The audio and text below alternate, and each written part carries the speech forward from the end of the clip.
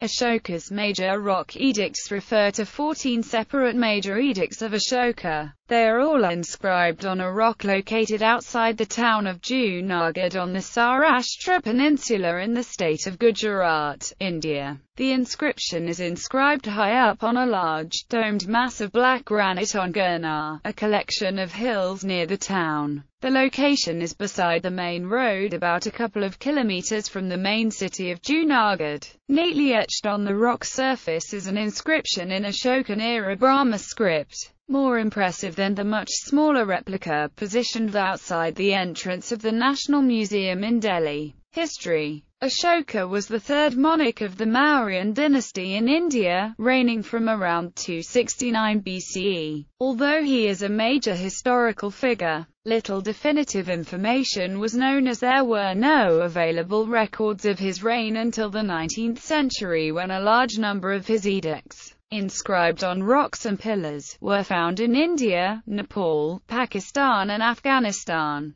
These many edicts, of which Ashoka's major rock edict was the first and most impressive, were concerned with practical instructions in running a kingdom such as the design of irrigation systems and descriptions of Ashoka's beliefs in peaceful moral behavior. They contain little personal detail about his life. Ashoka's edicts were the first written inscriptions in India after the ancient city of Harappa fell to ruin. He did not write the inscriptions in formal Sanskrit but used the vernacular spoken form called Prakrit. Ashoka's first edict is the only impressive edict remaining in its original state since most of his other edicts were either dismantled and transported to places of national importance after their discovery or formalized into a national monument.